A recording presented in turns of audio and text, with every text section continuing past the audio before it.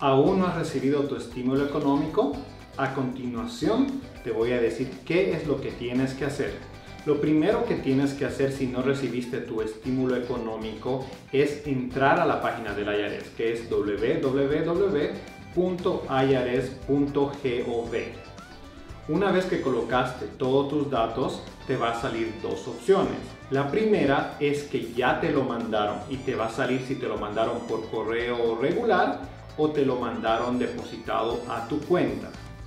Si sale que ya te lo mandaron y aún tú no lo has recibido, tienes que esperar dos o tres semanas de la fecha que sale en la página de la IARES. Si ya pasó este tiempo, tienes que llenar este formulario. Si te mandaron el cheque por correo y te cambiaste de dirección y si el correo devolvió el cheque hacia la IARES, entonces tú vas a poder actualizar tu cuenta de banco en la página de la IARES.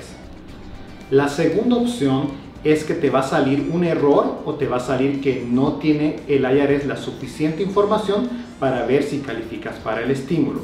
Pero no te asustes. Eso quiere decir que pusiste la información mal o que todavía el IRS está procesando tu estímulo económico. Soy Donald Douglas de Hispano Services y nos vemos en el siguiente video.